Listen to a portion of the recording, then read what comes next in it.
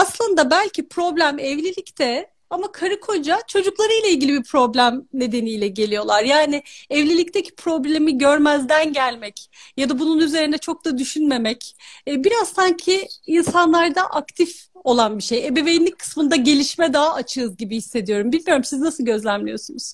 Ben bunu şöyle yorumlayabilirim Hatice Hanım.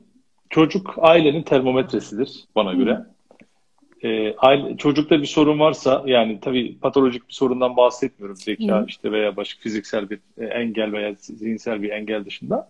Hı. Diğer davranışsal sorunlar, diğer işte akademik başarı sorunları, davranış veya uyum sorunlarının çoğunda aslında çocuğun ailenin bir te- termometresi olduğunu görebiliyoruz. Dediğiniz çok doğru. Ee, çocuğunu getiren kişilerin çoğu günün sonunda kendileri terapiye devam etmek zorunda kalıyorlar. Birçok meslektaşımız bize bunu söylüyor.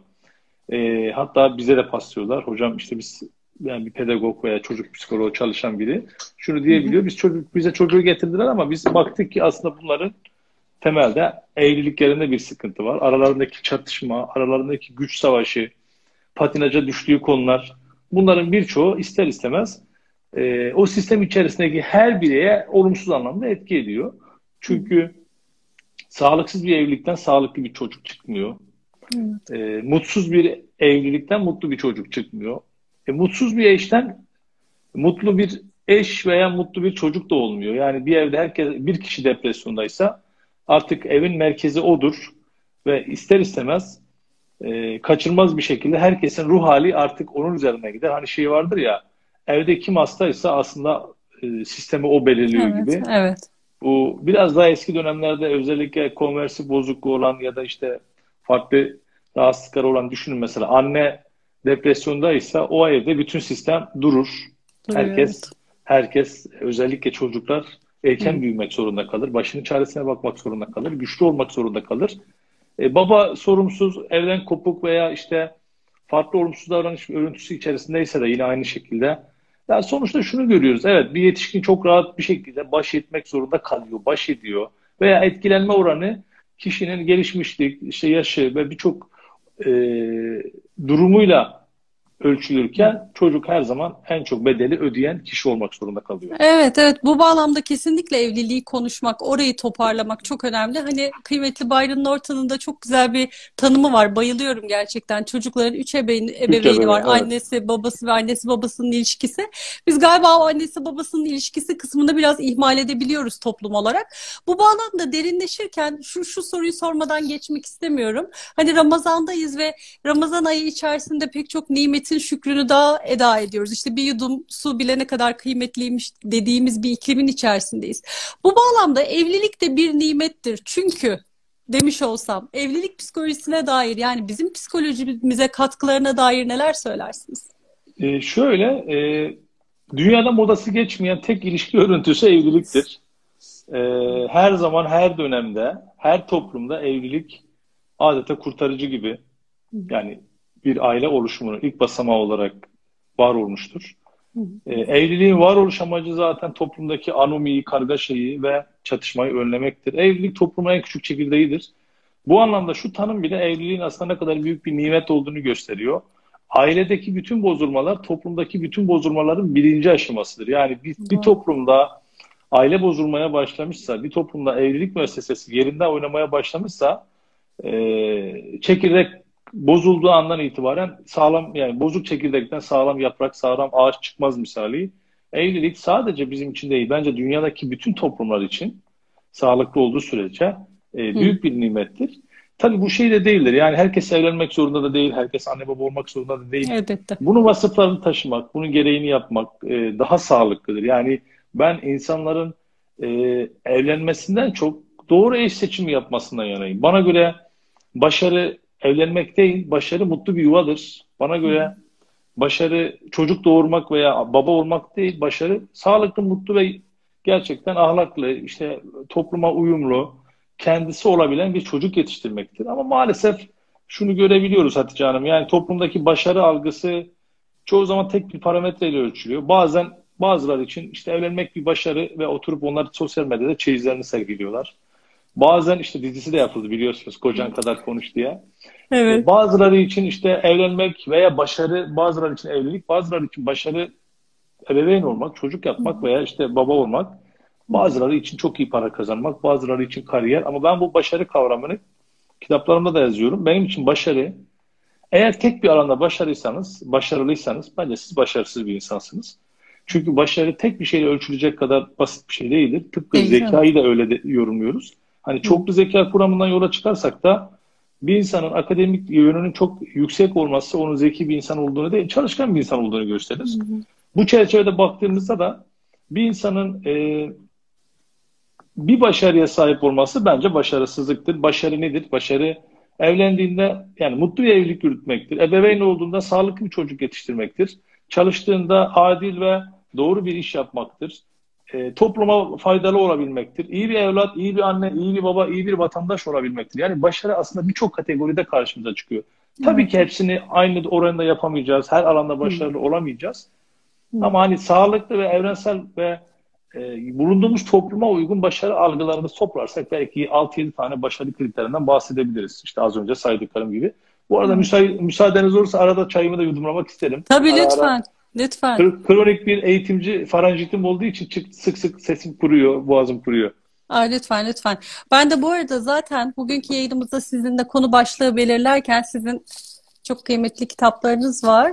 Çok teşekkür ederim. Evlenmeden ve boşanmadan önce iyi düşün. Bensiz biz olmaz. Yani başlı başına şu manşeti bugünkü yayında özellikle konuşalım istedim ben. Bensiz biz olmaz. Çünkü biz beni ararken de sıkıntı yaşayan, biz olurken de bazen o beni e, belki bulamadığımızdan kaybeden ve o bizim içinde içerisinde kendimizi bulamayan, bazen de çok ben kalan ve bir türlü biz olamayan. Pek çok aile ve ilişki örüntüsü var. Burada hani ben ve biz kavramlarını biraz açacak olursak, insan mesela evlilik öncesinden başlatalım. Adım adım gidelim. Evlenmeden önce kendi benini nasıl tanısın ki o evlilik aşamasına geldiğinde, o sürece geldiğinde bir ben olarak girebilsin? Yani süreç nereden başlıyor sizce? Süreç sanırım e, çorabın rengini kendi seçimiyle başlıyor. en basite indirgediğimizde. Bir çocuk eğer e, rengini beğendiği bir çorabı seçiyor ve bu konuda aile ona o izni veriyorsa orada çocukta ben olma kavramı oluşmaya başlıyor. Ama toplum ona veya geldiği aile hayır bu çorap sana yakışmaz, hayır bu pantolon sana yakışmaz, burada ağlanılmaz, burada kahkaha atılmaz, burada gülünmez gibi duyguları spontan bir şekilde çıkarmasına engel olacak müdahaleler yapıyorsa orada ben kavramı gelişmiyor. Ben kavramı hmm. değil, öteki kavramı, kavramı yani e, el alem diye tanımladığımız kavram evet. çıkıyor. E, ne oluyor? Kişi bu sefer ben neyi beğeniyorum? Annem bilir. Ben neyi seçerim? Babam bilir. Benim burada bunu seçmemem lazım. Çünkü bu aslında olmaması gerekiyor. Ama içimden de bu güzel geliyor. Yani bunu beğeniyorum ama beğenmemem lazım gibi. Hmm. Ben kavramının yani bu arada ben olmak bencil olmak da değil. Onu da ayırt etmek istiyorum. Hep karışıyor bu değil mi? Evet, yani evet, ben evet, ben ben demek bencillik gibi. Değil. Yani ben olmak demek kendin olmak demek. Bencil olmak değildir. Ben demek kişinin kendi sınırlarını bilmesi, duygularını bilmesi, tercihlerinin farkında varması, kendi fikirlerine sahip olması, kendi e, prensiplerini oluşturmasıdır. İşte dediğimiz gibi yani 4 yaşındaki bir çocuk mavi çorap giymek istiyorsa bu çocuğun zevkine saygı duymak lazım. E, yani e, ne bileyim işte et yemeyi sevmiyorsa buna da saygı duymak lazım. Bu da onun yani tercihidir. Orada çocuklarımızın özgüvenle ilgili şu hatayı yapıyoruz kanımca. Bir yandan çocukların özgüvenli olmasını istiyoruz. Bir yandan da kontrolün bizde olmasını istiyoruz. Yani evet. E, yani topluma karşı her zaman dik dur ama kontrol bende olsun yani. İpin, ipin ucu bende olsun ama herkese e, dik dur diye. O evlilik öncesi işte bu geçirdiğimiz süreçte en çok dikkat etmemiz gereken noktalar şu. Ben ne istiyorum? Bunu bilebilmemiz için de öncelikle duygulara müdahale edilmemiş, duygulara saygı duyulmuş ve kişinin kendini hem fikirlerini hem de duygularını çok rahat ifade edilmiş bir aileden gelmiş olması lazım. Aksi takdirde maalesef şuna karşılaşıyoruz. Meslek hayatımda on binlerce hem bireysel seyahat belki milyona yakın insana eğitim verdim. Şunu gördüm. Ee, insanlar istedikleriyle olanla olması arasında olması gereken arasında hep sıkışıp kalmışlar. Bir kısmı ol, olanı yani istedik istediği kişiyle evlenmek istemiş. Bir kısmı olması gereken kişiyle evlenmiş. Hmm. Ve biz bunun bedelini nerede görüyoruz? İstenmeyen evlilikler, birbirine e, soğuk davranan çiftler, e, en küçük olayda tahammülsüzleşip birbirine öfkelenen e, ilişki modellerine görüyoruz. Bunun da ilk kuralı işte evlilik öncesi kişinin e, şu duyguyu, şu soruyu kendisine sormasıdır. Yani ben ne istiyorum? Ben ne hissediyorum? Nasıl bir evlilik istiyorum? Nasıl bir profil istiyorum ortalama? Yani eş profili öyle bilinen bilinenin aksine yani öyle gidip herkese rastgele aşık olmuyoruz. Bu biraz ergensel dönem. Yani evet. e, siz ben her yani ben istediğim kişiye aşık olurum hiç e, belli olmaz diyen insanlara inanmayın. Yani neden? Çünkü o insanların hiçbiri kendi kriterlerinin dışında kolay kolay kimseye aşık olmazlar. Hmm. E, çünkü aşkın da bir mantığı vardır aslında. Yani insanlar aşık olacakları kişileri zihninde tasarlarlar, onları belli bir idealize ederler, belli bir profile oturturlar. Sonra aşık olmak için kendilerine izin verirler. Tabii denk gelirse. E, ben, evlilik öncesi ben biz kavramından önce az önce sorduğunuz sorunun devamı olarak beni bulabilmek için bir, ailenin buna izin vermesi gerekiyor. İki, bizim gerçekten iyi bir sorgulama sürecinden sonra karar vermemiz hmm. gerekiyor. Yani sadece birinin bizi tercih etmemiş, etmiş olması, sadece karşıdakinin kriterlerinin bulunduğumuz statüye veya aileye uygun olması evlilik için aslında doğru ve yeterli değil. Kriterlerden biridir ama hepsi değildir. Şey kısmı da önemli öyle değil mi? Şimdi mesela ailemiz evet belirleyici verdiğimiz kararlarda yol gösterici oluyorlar ama şimdi öyle bir çağın içerisindeyiz ki bizi aile ne kadar etkiliyor belki bir önceki nesle göre baktığımızda bayağı oransal anlamda küçüldü. Çünkü etki alanları çok genişledi. Şimdi bu yayını izleyen insanlar evet buradan değil mi bir etkiye maruz kalıyorlar. Takip evet. ettikleri hesaplardan, izledikleri filmlerden, dizilerden bambaşka kültürler görüyorlar, bambaşka ilişkiler görüyorlar.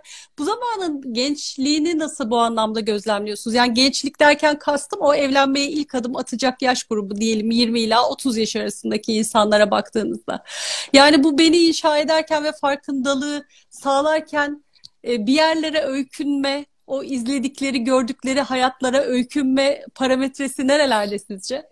Şimdi orada şöyle bir şey oluyor. Tabii sosyal medyanın hayatımıza girmesiyle seçenekler arttı her anlamda. Yani bilginin evet. seçenekleri arttı. En basitinde bir tişört bile alacağınız zaman oturduğunuz yerden çeşit yüzlerce çeşit tişört bulabiliyorsunuz. Bir elinizde e, çay bardağı, bir elinizde telefonla her türlü şeye ulaşabiliyorsunuz. Partner edinme dahil. Yani Doğru. Bir evlilik öncesi bir partner, eş adayı bulmak dahil. Ama her bulduğumuz şey aradığımız şey olmayabilir. Yani bizimle temas eden, etkileşim kurduğumuz herkes bizim için doğru insan olmayabilir. Ee, burada tabii yine yine belki biraz aileye e, dayanacak ama öncelikle ailenin hani e, çocuğa mutluluk tanımını ve eş tanımını veya evlilik tanımını doğru yapması gerekiyor. E, kodlar değişiyor. Eskiden e, belki 20 yıl önce doğru eş yani bir kız çocuğu için, bir kadın için doğru eş aileler tarafından işte SSK'sı olan askerliğini yapmış işte belli bir kültürel veya işte kendi ailesine denk biriydi. Ama hmm. günümüzde bu bir kriter olmaktan çıktı. Tabii bunun eksileri de var, artıları da var. Artıları şu, insanlar eğer bilinçli bir düzeye sahipse, bir eğitim düzeyine, bir farkındalık düzeyine sahipse kendisine dayatılanı değil de kendi istek ve arzusuyla seçtiği kişiyle evlenmeyi tercih ediyor. Hmm. O da eğitilebilir bir şey. Yani bizim her istediğimiz şey bizim içgüdüsel istediğimiz bir şey değil. E, tercihler eğitilebilir. Duygular bu anlamda fark ettirilebilir. E, kişi nasıl biriyle mutlu olabileceğini eğitimle, bilgiyle, şu videoyu bile izleyerek, şu yayını bile izleyerek farkına varabilir. Çünkü bizim her tercih ettiğimiz şey bize iyi gelmeyebilir. Yani bir insana iyi gelen şey her zaman onun iyiliğine olmayabilir. Yani e, baktığınızda absürt bir içecek veya bir yiyecek de bize iyi hissettirebilir kendimizi ama bu çok zararlı bir şey olabilir. Mesela en basitinden gazlı bir içecek içersiniz size iyi gelir ama bu sizin için iyi bir şey değildir. Veya fazla evet. içerseniz iyi bir şey değildir. E, orada da şemalar devreye giriyor. Mesela diyelim ki dominant bir annenin e, erkek evladıysanız e, dominize olmuş kontrolcü bir kadın size çekici gelebilir ama bu sizin için doğru bir tercih midir? Asla değildir. Veya işte alkolik bir babanın kızının alkolik bir erkekten çekim hissetmesi doğru mudur? Değildir ama çekim hissedebilir ve bu elektriklenmenin adına aşk koyabilir. Çünkü şeması buna uygundur. Çünkü o güne kadar e, öyle bir erkekle nasıl baş edeceğini iyi bilir. Profesyonel bir baş edicidir. E, babasından biliyor çünkü yani. E, orada da şunu görmek gerekiyor. Bizim bize her çekici gelen şey, her ilgi çekici gelen şey bizim için her zaman doğru olmayabilir e, bir mükemmelliyetçi tarafımız varsa zor olanı, ulaşılmaz olanı çekici hissedebiliriz. Sırf elde etmek uğruna, sırf onu e, kendi varoluşumuzu tamamlamak adına O zor, o kaçandır, biz kovalayanız ama bizim aradığımız ve ulaşmak istediğimiz şey o değildir. Onun sonunda Hı. elde edeceğimiz başarı duygusudur. Çünkü ona ulaştığımızda da bir süre sonra önce yüceltir, elde ettiğimiz için sonra ulaştıktan sonra da değersizleştirebiliriz. E, tercihleri burada iyi görmek gerekiyor. Yani her iyi hisseden, hissettiren değil. Ben orada üç tane kriterden bahsediyorum. Özellikle bu son kitabımda en çok vurguladığım konulardan biri. Yani belki de özet olabilir bu. Yani bir evliliğin bence en önemli üç şeyi vardır başında. Bir, seviyor muyum? İki, seviliyor muyum? Üç, anlaşabiliyor muyuz? Hani meslek hayatındaki bu eş seçimiyle ilgili ilk kitabımda da yazmıştım. Bu işte sizin elinizdeki beşinci kitabımda da biraz daha detaylı yazdım yıllar sonra. Üçe indirgiyorum artık. Yani seviyor muyum, seviliyor muyum, anlaşabiliyor muyum? Şimdi bir kadının da bir erkeğin de evliliğin başında belki de kendisine sorması gereken en temel noktalardan biri bu. Bir, seviyor muyum? Çünkü sevgi neden önemli? Çünkü sen romantik duygusal bir ilişkiye adım atıyorsun. Duygunun olmadığı bir ilişkide duygusal yani duygusal duygunun olmadığı bir ilişkide duygusal bir ilişki sürdüremezsin. Hmm. Sevmek zorundasın yani. Evet. İki, seviliyor muyum? Sevilmek de zorundasın. Çünkü seni sevmeyen bir insanı tahammül edemezsin. Bu olsa olsa sevgi değil, bağımlılık olur. Burada o zaman şunu, şunu soracağım. Şu ikinci maddeyi biraz daha açalım. Hani insan kendi sevdiğini, kendi iç dünyasında yaşadığı bir şey olduğu için bunun tahlilini kolay yapılabiliyor. Ee, hani hissettiğim bir şey neticede. Ama seviliyor muyum sorusunun cevabına baktığımızda pek çok kişi şu an bizi izleyen kişiler de mesela eşim beni seviyor mu acaba sorusunun cevabı. Hala bilmiyorum kim, diyorlar. Kim kime göre? Yani benim anladığım şekilde beni sevip sevmediğine mi bakacağım? Yoksa mesela e, hanımefendinin şikayet ettiği hatta bu, bunu bir problem görüp bir danışmana gittiği noktada beyefendi yo seviyorum diyebiliyor. Ya da tam tersi. Ee, yani şöyle tabii e, benim sevmem karşıdakinin hissettiği kadardır. Yani hmm. onun sevgi diliyle onu sevmiyorsam bu sadece kendi kendime yani tavşan daha küsmüş misali bir hikayeye dönüşür. Önemli olan e, bencilce sevmek değildir. Çünkü maalesef bu ülkede sevdiği için öldüren insanlar da var. Çok seviyordum, öldürdüm. Çok kıskandım, öldürdüm, aşıktım. Sevgi dilimiz karşıdakinin sevilme diline uymuyorsa bu sevgi sadece bizim savunmamızdan öteye gitmeyecektir. Biz birini seviyorsak onun da istediği gibi onu sevmek zorundayız aynı zamanda. Hmm. Çünkü çünkü e, seviyorum çünkü sorusuna şu cevabı verenler çok oluyor. Sevmeseydim evlenmezdim. Evet. Dövmez, dövmüyorum, sövmüyorum, aldatmıyorum. Daha ne istiyorsun? Sevmeseydim işte boşanırdım. Sevmeseydim çocuk yapmazdım. Sevmeseydim seninle şu an aynı evde yaşamazdım.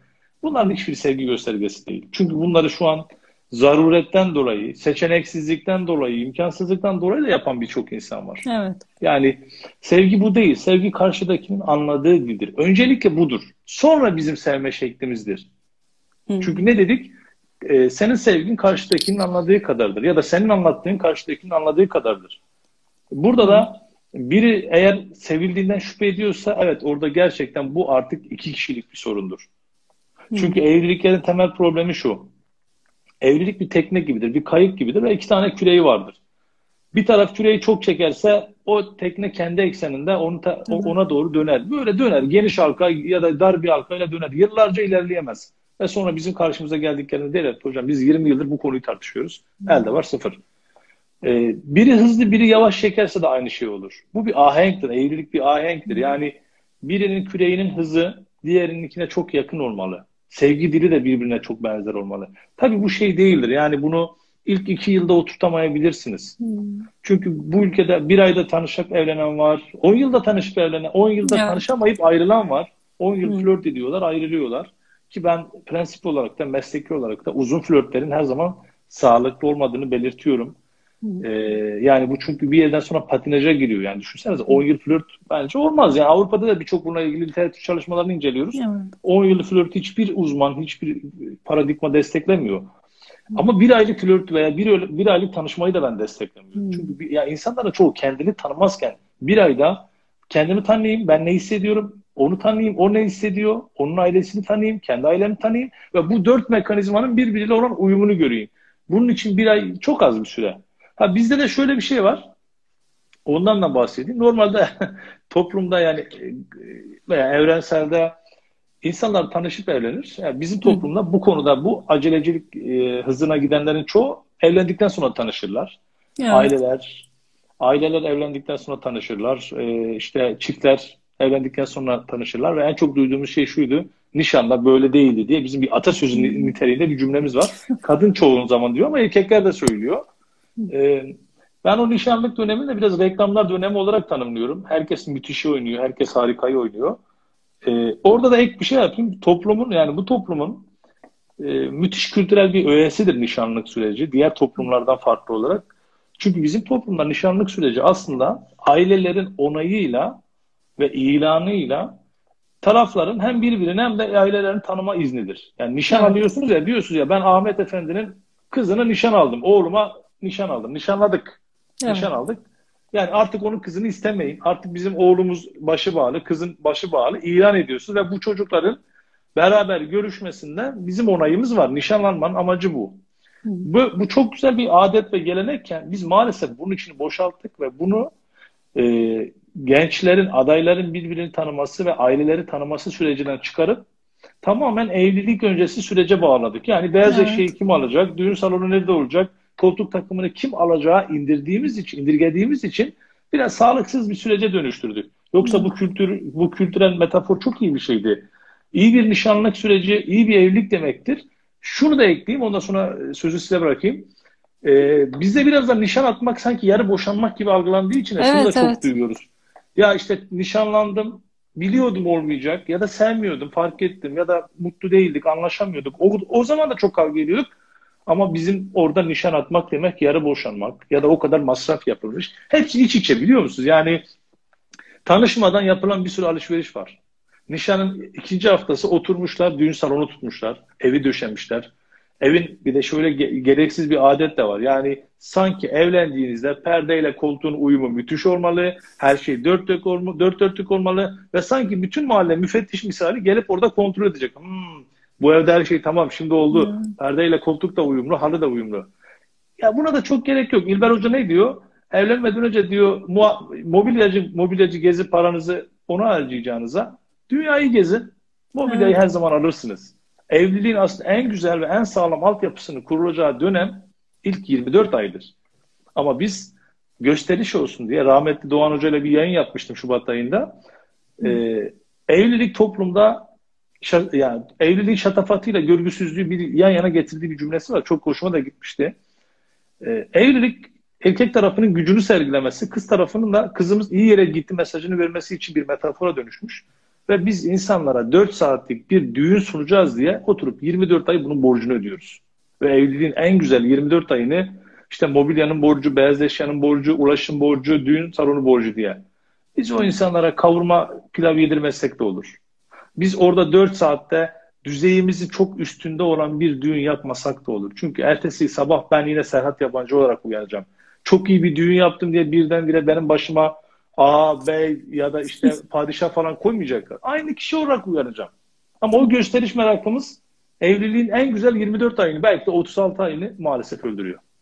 Kesinlikle öyle. Hatta evliliğe dair pek çok problemde birçok e, ruh sağlığı çalışanının e, tespitidir bu söyledikleri şeydir. O borçların altında e, çıkan krizler nedeniyle evliliğin o ilk zamanları e, kavgalar ve tartışmalara zemin hazırladığı kötü bir başlangıçla da aslında başlamış oluyor. Aynen hani öyle. insanın belli bir imkanı vardır, belli bir bütçesi vardır. Bu bütçesi çerçevesinde diyelim belli şeylerini tamamlamak ister. Bu anlaşılabilir bir şey. Ama sizin de altını çizdiğiniz boyunu aşacak bir şeyin altına giriyor olmanın kimseye gerçekten bir faydası yok burası. Aynen. Muhakkak. Peki evliliğin içerisinde ben kısmına şöyle bir geçiş yapacak olursak. Çünkü evlenmeden önce insanın benini keşfetmesine dair neler söyledik? Evet insan e, pek çok etki alanı içerisinde ailesinde anne babasını görüyor. Bu bir evlilik modelidir. İlk gördüğü evlilik modelidir. Buradan bir şeyler muhakkak ki kendine, kendi görüşüne buradan bir şeyler getiriyor. Bunun dışında işte sosyal medyadan birilerini takip ediyor. Arkadaşları var, çevresi var, izledikleri var. Buralardan hep bir şeyler alıyor ve kendince bir ben inşasında ben neler istiyorum? Nasıl bir eş beni mutlu eder? Bu soruların soruların cevaplarını ufak ufak bulmaya başlıyor. Ama evlilik öyle bir e, ikili ilişki içerisine girme süreci ki eğer karşınızda da böyle değişime kapalı olduğu yerde duran biri varsa siz ben bunu istiyorum dediğinizde hayır ben istemiyorum ve bu, burada benim sözüm geçer duvarına çarpabiliyorsunuz mesela. Ya da siz ne kadar gayret gösterirseniz gösterin karşınızdaki kişi ben buyum ve değişmem diyorsa burada o bahsettiğiniz kayık metaforundan yola çıkarak ahengi yakalamak, o beni koruyabilmek zorlaşabiliyor. Ve genelde galiba sorular ve problemler de burada çıkmaya başlıyor. Yoksa ahenk varsa zaten problem yok. Burada ne yapacağız? Yani evliliğin içerisinde beni muhafaza etmek sadece benimle ilgili bir şey mi? Karşı tarafın gayreti de gerekiyor mu burada? Evet. Bu e, şöyle başlamalı aslında. Şimdi bizim en büyük hatalarımızdan biri şu. Yani evlilik müessesesi e, toplumsal anlamda. İlk iki yılda her şeyin bir an önce oturmasını istiyoruz. Yani istiyoruz ki e, karşıdaki ile hemen uyumlu bir ilişkim olsun, onun ailesiyle hemen anlaşayım, onun ailesi benimle anlaşsın, eşim, eşim benim ailemle anlaşsın gibi. Bu çok zor. Çünkü bu evli yapan insanların çoğu hala kendi aileleriyle barışamamıştır. Kendi kök ailesiyle barışmadan evleniyor. Ve bunu başaramadan eşinin gelip bu aileyle iyi anlaşmasını istiyor. Veya kendisi hemen kendi ailesiyle anlaşamadan diğer aile aileyle barışması, anlaşabilmesi için eşi tarafından baskı altına alınıyor. İlk dikkat etmemiz gereken nokta şu. Bu tip evliliklerde problem şudur. İlk iki yıl diş geçirme sürecidir. Ve orada biraz acele etmemek gerekiyor. Yani o ilk iki yılda Türkiye'deki her 100 boşanan her 100 çiftin 42'si ilk 5 yılda boşanıyor. Ve ilk 5 yılında neredeyse en çok ilk 2-3 yılına denk geliyor bu. Bu da demek oluyor ki Türkiye'de ciddi yani çok ciddi derecede evlilik öncesi eğitimi zarureti ortaya çıkıyor. Evlenen çiftlere de o süreçlerde, sorun yaşadıkları süreçte belki devlet desteği, ücretsiz terapiler, belediyelerle, aile bakanlığı vasıtasıyla verilmesi gerekiyor. Çünkü boşanmanın bulaşıcı olduğuna dair birçok elimizde bilimsel veri var. Boşanma bulaşıcıdır ve dikkat edin ki insanlar ayrıldıklarında, boşandıklarında bunu maalesef bazı insanlar öve öve anlatıyorlar. Ben çekmedim sen de çekme, ben boşandım evet. sen de boşan. İşte değmez yani bunu erkekler de söylüyor, kadınlar da söylüyor. Herkes söylemiyor ama genelde hani insanlar kendi tecrübelerini başkalarına çok rahat söyleyebiliyorlar, dayatabiliyorlar. Burada da şeye dikkat etmemiz gerekiyor. İlk iki yıl sistem oturmadan mümkünse böyle bir karar almamak gerekiyor boşanmayla ilgili. Ama şu değil yani ortada akut durumlar vardır. Taciz var, istismar var, şiddet var. Bunlar tamamen e, onun dışında fakat hani sık bir güç savaşı var diye, iletişim sorunu var diye kesip atmak yerine mümkünse her türlü çabayı göstermek. Geriye dönüp baktığımızda bitireceksek bile geriye dönüp baktığımızda ben bu evliliği düzelmesi için elimden gelen her şeyi yaptım. içime sinesine şimdi ayrılabiliyorum diyebilmemiz gerekiyor. Evet. Bu birinci nokta. İkinci nokta. Yine e, hem toplumun beklentisi hem de bizim ne yapmamız, ne yapacağımızı bilmememizi getirdiği bir şey. Evlendiğimiz andan itibaren en temel e, zemin olan ki iki insan niye evleniyor? Birbirini sevdiği ve sevildiği için evleniyor ve anlaştığı için evleniyor. Bu sistemin adı ne? Karı koca ilişkisi. Biz evlendiğimiz andan itibaren karı koca ilişkimizi hemen bir kenara bırakabiliyoruz. Bunu nereden görüyoruz? Evlendiğimiz andan itibaren eski arkadaşlarımızı hayatımızdan çıkarmaya başlıyoruz veya görüşmeyi azaltıyoruz. Hmm. Varsa sporumuz, hobimiz bunu azaltıyoruz. Kök ailemizle olan ilişkimizi azaltıyoruz. Akrabalarımızla olan ilişkimizi azaltıyoruz. İşimizi bırakıyoruz, eğitimimizi yarıda bırakıyoruz. Niye? Evlendik diye. İşte orada bensiz biz olmaz kavramındaki beni biz olmak adına yok ediyoruz. Yok ediyoruz. Oysa o biz kavramı zaten iki benin var olması halinde olan bir şeydi. Hmm. Yani iki ben olmadan biz olmaz. Ama biz zannediyoruz ki ben benleri öldürdüğümüzde biz oluyoruz. Hayır bu e, kendisi olamayan hiç kimse biz olamaz. Bir insanın be, biz duygusunu hissedebilmesi için biz kavramına inanabilmesi için öncelikle kendi karakterinin varlığı gerekiyor. Yani bunu şöyle düşünelim.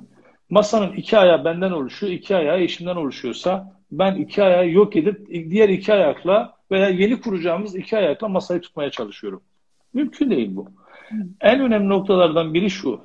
Evlendiğimizde bile evliliğin sınırlarının dışına çıkmadan mevcut sistemi yürütecek o bireysel hem bireysel hem de çift olarak sistemin parçalarını sürdürmemiz gerekiyor. Evli, evli olmak kadın için de erkek için de artık arkadaşınızın olmayacağı anlamına gelmemeli. Hı. Görüntümüz dondu ama sesim geliyor mu? Sizin de evet görüntünüz dondu. Sesiniz geldi ama şu an herhalde internette ufak bir sıkıntı yaşıyoruz. Bu canlı yayınları yapıyor olmanın e, ara ara bu tarz dezavantajları olabiliyor. Yorumları da şu şuradan açacağım. Ben de dondum mu acaba? Yoksa Serhat Bey'in internetinde mi sıkıntı yaşıyor?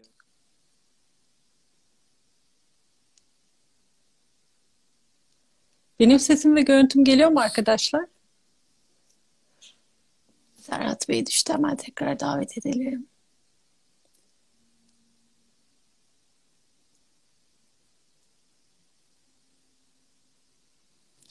Hemen tekrar isteğimizi gönderelim. Sesim geliyor değil mi? Hah, tamam. Siz de geldiniz. Tekrar hoş geldiniz. Tekrar hoş bulduk. Evet. E, şimdi baktım da e, çok fazla neredeyse takip ettiğim herkesin yani yarısı canlı yayına Değil bağlandı. mi? Yayınlar var. Doğru evet, doğru. Evet. Tam biz size en son şurada duyduk. Dediniz ki e, biz olabilmek için insanın benlerinden vazgeçmesi gerekmiyor. İnsan e, arkadaşlarıyla görüştüğü, kendine alan açtığı bir sürecin içerisinde o bizleri var edebiliyor dediniz. Ondan sonra dondunuz. evet. Yani evlendiğimizde bizim sırf evlendik diye ne bileyim sanatımızı, sporumuzu, işimizi, e, çevremizde, sosyal hayatımızı, arkadaşlarımızı bırakmamız gerekmiyor. Evlilik böyle bir sistem değil.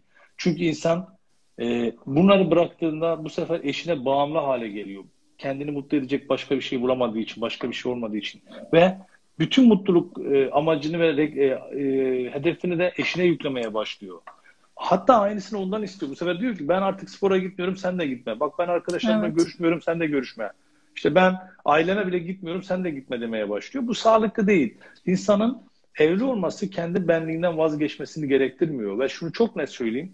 Kendi benliğinden çıkan herkes mutlaka hem kendini hem evliliği mutsuz etmiştir. Bunu isteyen kişiler de evliliği mutsuz etmiştir. Yani e, diyelim ki erkek kıskançlık yapıyor. Eşine diyor ki işte çalışmanı istemiyorum. Arkadaşlarla görüşmeni istemiyorum.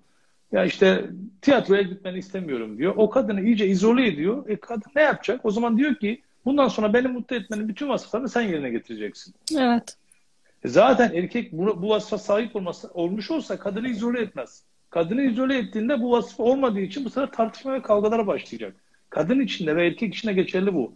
E, kadın da erkek de birbirinin e, çift ilişkisindeki rollerinin yanında kişisel alanlarına saygı duymalı. Bu bir risk değil. Çünkü belli bir olgunluğa erişmiş bir insan yani eşi kıskanmıyor diye kontrolden çıkacak diye bir şey yok. Çünkü kıskançlık e, kimseyi sadık yapmaz. Kontrolle sadık olunmaz. Kontrol dünyanın evet. hiçbir yerinde sadakat doğurmaz. Bir insan bir yanlış yapacaksa yapar. Her zaman zamanı da vardır, fırsatı da vardır, imkan da bulur ki sosyal medyanın bu kadar geliştiği bir anda yani yanlış bir şey yapmak için özel bir alana veya özel bir yeteneğe veya zekaya sahip olmaya gerek yok. Gerek yok. Birinci aynen. nokta o. Birinci nokta biz kendimizden vazgeçiyoruz. Yani biz geçiyoruz veya karşıdaki bunu istiyor ve biz ona itaat ediyoruz ve beni öldürüyoruz. İkinci önemli nokta kendimizi mutlu ettiğimiz, o güne kadar mutlu ettiğimiz birçok dinamiği ortadan kaldırıyoruz. Ve dönüp dolaşıp sadece eşinin e, ilgisine ma- bağımlı hale gelen bir kadın veya erkek profili ortaya çıkmaya başlıyor. Tek mutluluk kaynağı, tek musluğu o olmaya başlıyor. Bu ikinci yanlış. Üçüncüsü çocuk olduktan sonra en kritik noktalardan biri bu. Karı kocalarımızı öldürmeye başlıyoruz. Artık evet. biz karı koca olmaktan çıkıp tamamen çocuk üretme fabrikasının iki büyük ortağı olan anne babaya dönüşüyoruz. Oysa anne babalık, karı kocalık öldükten sonra hiçbir işe yaramıyor. Aslında bu demin söylediğiniz şeyin de sanki biraz devamı ve tamamlayıcısı gibi Serhat Bey. Yani Aynen. birbirlerini sürekli mutlu etmek üzerinde sadece programlanmış bir evlilikte anne baba olduktan sonra sadece birbirinden bu beklenti biraz çocuğa doğru kayıyor sanki. Çocuk evet. üzerinden bu sefer mutlu olmaya çalışmaya başlıyoruz galiba. Aynen öyle oluyor ama bunu da mesela tartışmamız gerekiyor. Yani demek ki eğer çocuk üzerinden mutlu oluyorlarsa birbiri üzerinden mutlu olamıyorlar ki çocuğu evet. merkeze alıyorlar. Çünkü çocuk olduktan sonra sadece aile yeni bir mutluluk kaynağına sahip oluyor ve aynı zamanda çocuğu da mutlu ediyor. Ama mutsuz çiftler veya mutluluk üretmeyi bilmeyen çiftler aslında potansiyel var. Yani iyi bir şoförsünüz ama bir türlü denemiyorsunuz. Hmm. Aracın başına bir koltuğa oturmadığınız için. Mutluluk üretemeyen çiftler bu sefer hayatlarının merkezine çocuğu koyuyorlar ve çocuğu da zehirlemeye başlıyorlar. Evet. Yani anne çocukla koalisyon kuruyor. Baba sistemin dışında kalıyor. Ama öyle bir evlilik yürüteceğiz ki Yarın bu çocuk evden ayrıldığında, yarın bu çocuk okula gittiğinde, üniversiteye gittiğinde yine o karı koca birbirinin yüzüne bakacak, baş başa kalacak öyle bir evlilik sürdürelim ki 20 yıl sonra birbirimize bakacak yüzümüz olsun. Hmm. Çünkü Çok o çocuklar güzel. evden ayrıldığında, o çocuklar evden ayrıldığında, evlendiğinde, üniversiteye gittiğinde o sistem yine varsa karı kocalık üzerine kurulacak. Ve burada çok enteresan bir istatistik çıkıyor. Tam da bu dediklerimle paralel olarak. Birinci istatistik şu. Evlen, boşananların yüzde neredeyse 78'i çocuklu çift. Bir önceki yıl 140 bin çift boşanmış, bunun 100 bini çocuklu. Demek ki çocuk evliliği yürütmeye yetmiyor. Bu bir. İkincisi, boşanmaların en yüksek olduğu birinci bölüm neydi? 0-5 yıl. İlk 5 yıl. İkinci en yüksek oran yıl ne? 16-21 yıl. Hemen hemen çocuğun üniversiteye Aynen. gittiği veya çocuklar büyüdü artık. Eski nesilde hatta çocukların neredeyse 20 yıl önce evlendiği döneme geliyordu. Şimdi evet. biraz daha evden ayrıldı veya üniversiteye gittiği, şehir değiştirdiği yıl. Çocuk evden gidiyor, evlilik misyonunu tamamlamış oluyor. Bu sefer hadi birbirimizin yüzüne bakamayacağız, o zaman herkes kendi yoluna demeye başlıyoruz.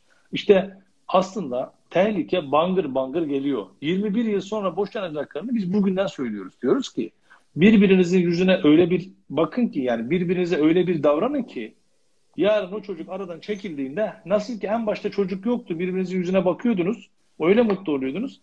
Onu öyle bir devam ettirin ki yarın çocuk olmadığında da birbirinizin yüzüne bakacak yüzünüz olsun. Aslında temelde şunu söyleyebilir miyiz? Belki hani basit bir cümleyle özetleyecek olursak karı koca ilişkisine. Hani nasıl ki e ebeveyn çocuk arasındaki kaliteli zaman tanımını yaparken dediğimiz bir şey vardır. Birlikte olmaktan keyif alma hali. Aslında evlilik içinde bunu söyleyebilir miyiz? Yani karı Kesinlikle. koca olarak beraber olmaktan keyif aldığımız anlar ve alanlar olmalı galiba. Müthiş. Kesinlikle çok doğru söylüyorsunuz. Zaten bu olmadığı zaman e, evlilik artık bir göreve, bir sorumluluk yumağına hatta katlanmaya dönüşüyor. Çünkü biz niye evleniyoruz? Mutlu olmak için. Peki niye boşanıyoruz? Yine mutlu olmak için boşanıyoruz aslında. Her ikisi de aynı amaca hitap ediyor. Hayatta bütün amaçlarımız mutlu olmak içindir. Direkt veya ikinci, sekonder olarak yani ibadet etmek de mutlu olmak içindir. Sevdiğiniz çayı içmek de mutlu olmak içindir değil mi? Yani e, çocuğunuzla güzel zaman geçirmek de mutlu olmak içindir. Eşinizdeki yaşat, yaptığınız paylaşımlar da mutlu olmak içindir. Ana felsefe hepsi mutlu olmak içindir. Yani sevap kazanmak da mutlu olmak içindir. Sevdiğiniz çayı içmek de mutlu olmak içindir. Kökende sonuçta hep bir mutluluk var. Bu mutluluk huzur olarak, iyi evet. hissetmek olarak, kendini değerli hissetmek olarak farklı şekilde verse de bunların hepsi bize mutluluk duygusu verir, huzur duygusu verir. Hı. Evlilik de bunlardan biridir. Mutlu olmak için evleniriz Mutlu oluruz, devam ettiririz. İleride bir gün mutlu olamayız. Artık hiç olabile, olamayacağımıza inanırız. O zaman da boşanırız. Bu sefer de mutlu olmak için boşanırız. Evet. evet. Aradaki fark ne? Bir kısmı mutluluğu üretip sürdürüyor. Bir kısmı mutlu başlıyor ama onu sürdüremediği için bitiriyor. Ve biz ona evet. boşanma veya ayrılma diyoruz. Aynen öyle. Peki biz kavramına geldiğimiz zaman şimdi benleri korumanın da bir dengesi var elbette. Şimdi siz dinlerken mesela aklıma şey geldi. İnanıyorum ki dedim ekran başındaki birçok hanımefendi şu anda şey diyordur. Hani arkadaşlarınızla görüşün falan kısmında. Ee, bizim hani çoluk çocuk ev falan derken öyle şeylere çok zamanımız kalmıyor ama eşim haftanın işte bilmem kaç günü arkadaşlarıyla halı sahada e, ya da işten çıkar arkadaşlarıyla bilmem nereye gider böyle bir sosyal hayatı vardır ama biz genelde evde. Yani çok daha kısıtlı. Hele çocuk olduktan sonra bakımı da anne üzerinden tanımlandığı için çok daha kısıtlı. Burada biz olamayan kadınlar ve erkeklerden de bahsetmek önemli. Ya yani biz olmak için nasıl bir emek vermek gerekiyor? Tamam benler gitmesin ama bir yandan da biz olabilelim. Oraya nasıl geçiş yapacağız?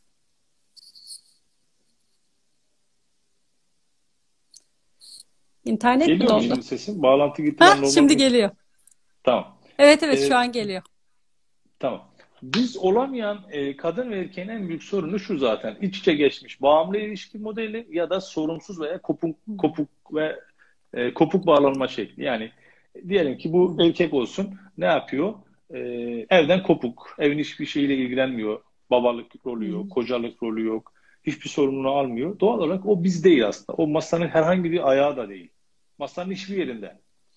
Veya kadın aynı şekilde. Bu her zaman tercihli olmuyor. Bazen hastalıklar oluyor. İşte bir zihinsel sorun veya psikiyatrik bir işte depresyon oluyor, anksiyete bozukluğu oluyor. Bu ve buna benzeyen durumlar da aynı şeye neden olabiliyor.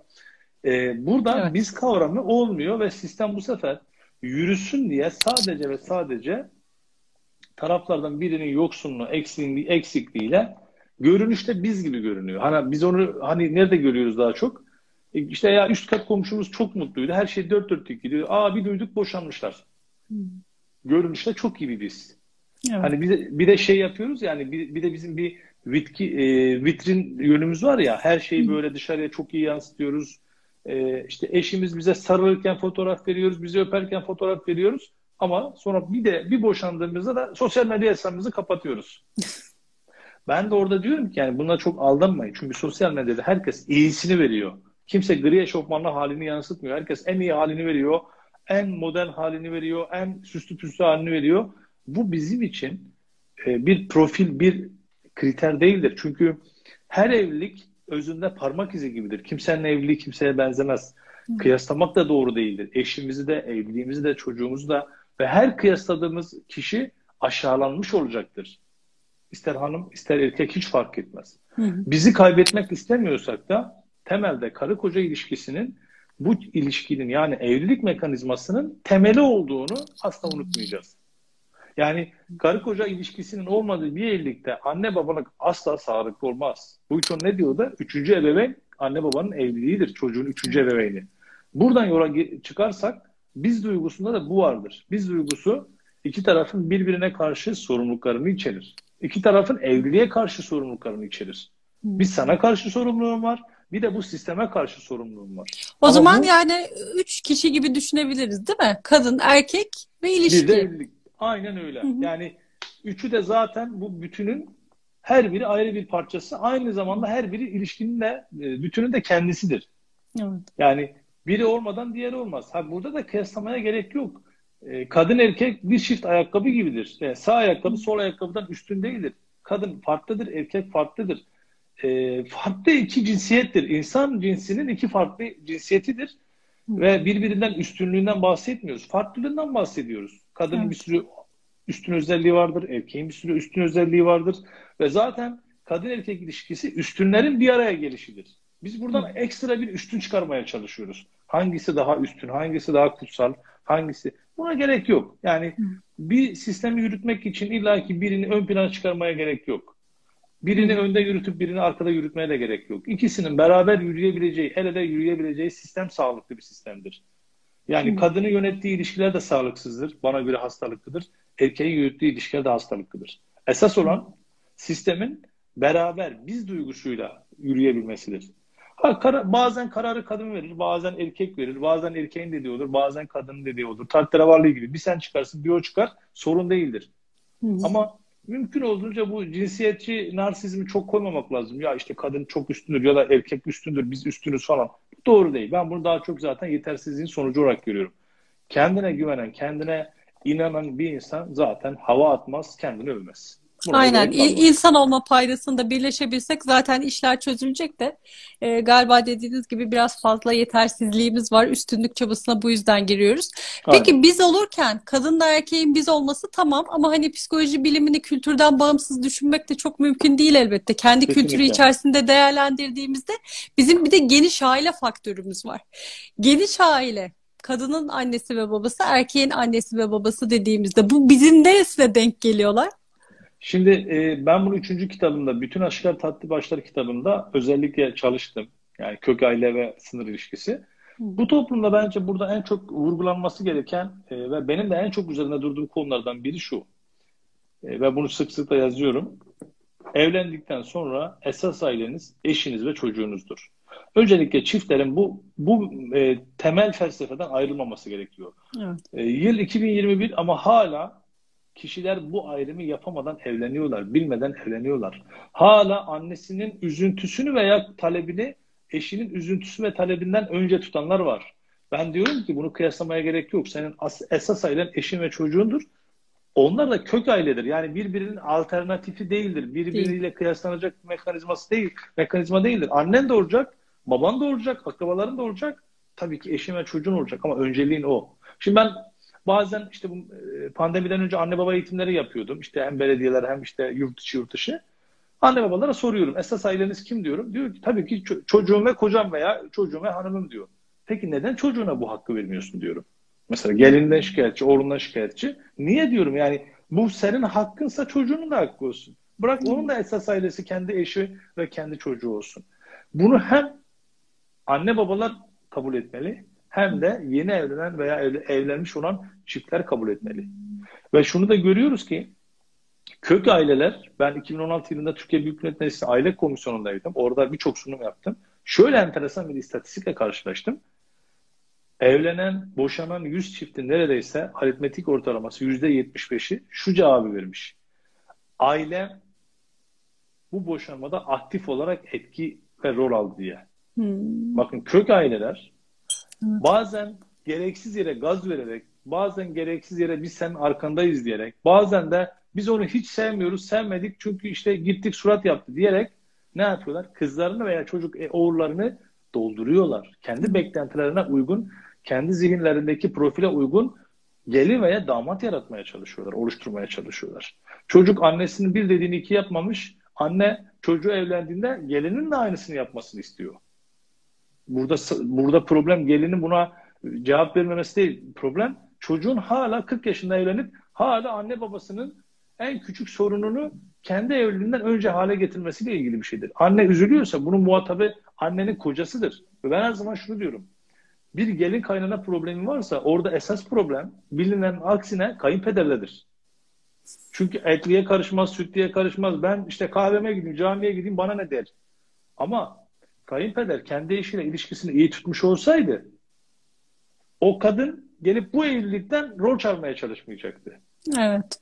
Oğlu Çünkü, da bu kadar ihtiyaç duymayacaktı değil mi? Oğlu da bu kadar ihtiyaç duymayacaktı veya bu kadar suçlu hissetmeyecekti. Ben annem yani şimdi öyle vakalar dinliyoruz ki adam diyor ki erkek bana diyor ki hocam diyor pazar günü diyor işte AVM'ye gidecektik diyor. Alışveriş merkezine gidecektik. Biraz dolaşacaktık. Bir şeyler yiyip dönecektik. Tam gidiyordum annem aklıma geldi. Evde şimdi tek başıma. Giderken diyor canım sıkıldı. Eşime de ısrarla annemi de alalım dedim. O da dedi ki ya bir pazarımız var. Niye hani annemizi anneni takıyoruz peşimize? Başka zaman giderse veya başka zaman götürürüz. Kavga ettik. Biz de gitmedik. Annem de orada kaldı. Eşim bu olayı büyüttü diye.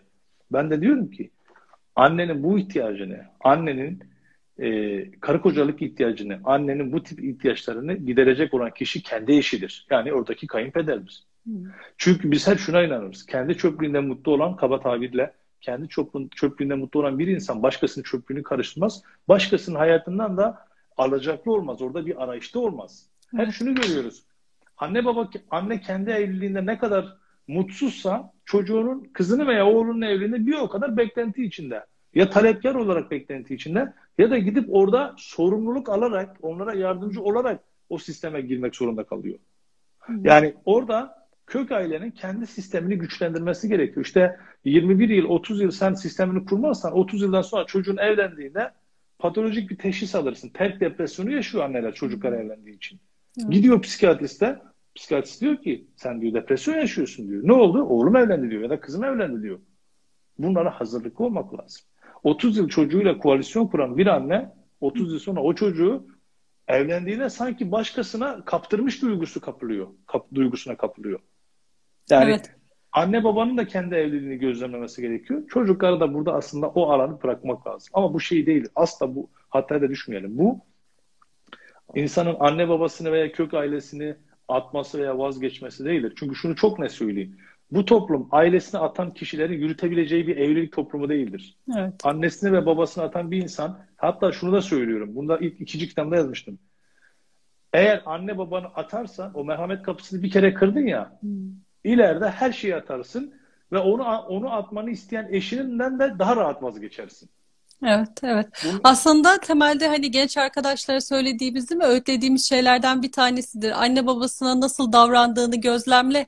Eğer onlara karşı iyi, ahlaklı, saygın bir ilişki kurabiliyorsa muhtemelendir ki seninle evliliğinde de kuracak. Zira annesine babasına bile saygın bir dille konuşamayan ya da o sevgi iletişimini kuramayan e, bir gencin yarın öbür gün eşiyle kuracağı da bir muammadır. Aslında bu e, güzel bir parametredir de kök ailesindeki uyumu ve mutluluğu belki buraya bakmak lazım ama şimdi e, izleyen dostlar da şöyle hissetmiş olabilirler bu cümlelerden. Ya evet idealini konuşuyoruz. İdeali kesinlikle böyle olmalı baktığımızda. Hani bilim bunu söylüyor, araştırmalar bunu gösteriyor vesaire. Ama e, şu an bu, bu, bu böyle değilse yani geniş aileyle öyle bir iç içe girdik ki belli sınırlarımızı koruyamıyoruz. Ne yapacağız bilmiyoruz ve evlilik ilişkimize bu sürekli bir bir problem olarak yansıyor. Nereden başlamak lazım?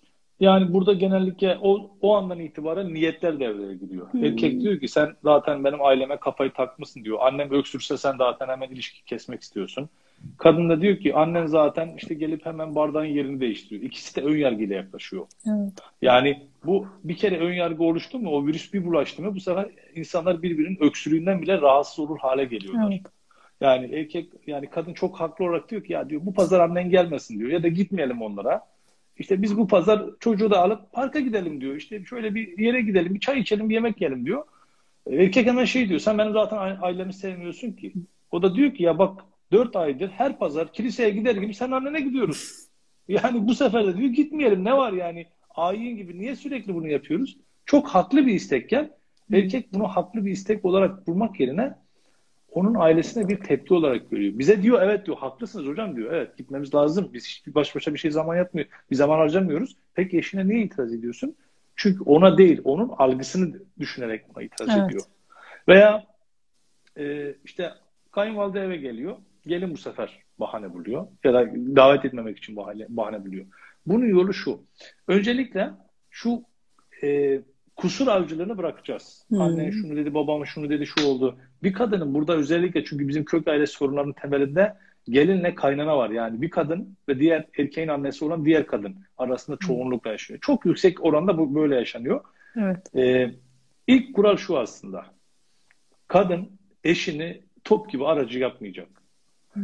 Eşinin kök ailesinin davranışlarının hesabını gelip kocasından sormayacak. Annen şunu dedi, baban şunu dedi, annen surat astı, annen arkada laf attı. Bir erkek aracı olduğu andan itibaren burada evlilik kaybediyor. Hiç kimse kazanmıyor.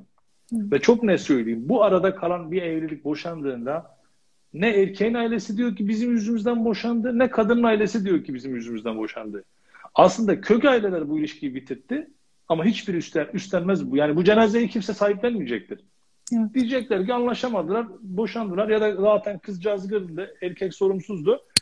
Ama ikisi de bu evliliği kaybettiklerinde hiçbir kök aile bunların arkasında durmayacak. Bizim yüzümüzden oldu demeyecek. Birinci kuralımız e, taraflar birbirini arada bırakmayacaklar. İkinci kuralımız biz yetişkiniz. Biz zihin okuma yapmayacağız. Biz bir yetişkin olarak muhatabımızla birebir ilişki kuracağız. Eğer bir kadın gidip de kayınvalidesiyle bu problemi çözmüyorsa, eşini araya koyuyorsa bu taşıma su yöntemiyle bu süreç 20 yıl sürüyor. Evet. Erkek bir gidiyor oraya söylüyor, bir geliyor buraya söylüyor. Geline annesi, geline işte annesini kötülüyor, annesine gelini kötülüyor. Ne oluyor? Birbiriyle hiç tartışmamış bir gelin kaynına 20 yıl küs geziyor. Aslında hiç tartışmamışlar. Yüz yüze bile, bir kere bile gelmemişler. Niye? Erkek diyor ki ben baktım. Ben de diyorum ki senin yüzünden. Senin yüzünden. Sen sürekli laf götürüp getirmişsin. Sözde iki tarafı idare etmeye adına, dengeyi bulmaya. Yani bir de patinaj diye bir kavram kullanıyorum. En çok kullandığım kavram. Ee, ya bu sistem patinaja girmiş. 20 evet. yıldır bunu deniyorsun. Elde var sıfır. Niye de devam ettiriyoruz ki? Bizi izleyenlere de söylüyorum. Bugüne kadar devam ettirip elde edemediğiniz ne varsa o yöntemi değiştirin. Evet. o değişik değil mi? Değişik sonuç istiyorsan değişik davranışta bulun. Einstein diyor ya aynı nedenlerle farklı sonuç alamazsın diye. Biz aynı şeyleri deniyoruz. Hadi 99'da belki diyoruz tutarız değişik bir şey olur. Diyor ki hocam 20 yıldır söylüyorum anlamıyor. Ben de diyorum ki e, 20 yıldır söylüyorsun anlamıyor işte ne güzel diyorsun. Bu dilden anlamıyor. Yani bu onun anlayacağı bir dil de ya da sen yanlış bir şey söylüyorsun. Bizim en büyük yanılgımız şu. Biz bir şeyi tekrar ettiğimizde zannediyoruz ki anlayacak. Bir insan 5 kere anlamıyorsa 555 kere anlatsanız o ona uygun değil. Yani İngilizce bilmeyen bir insana şey Türkçe bilmeyen bir insana siz e, 25 kere Türkçe bir kelimeyi tekrar ettiğinizi anlayacak mı? Anlamayacak. 500 kere günaydın hoş geldin deyin. Anlamıyorsa anlamıyordur. Bunu tekrar ederek ona anlatamayız.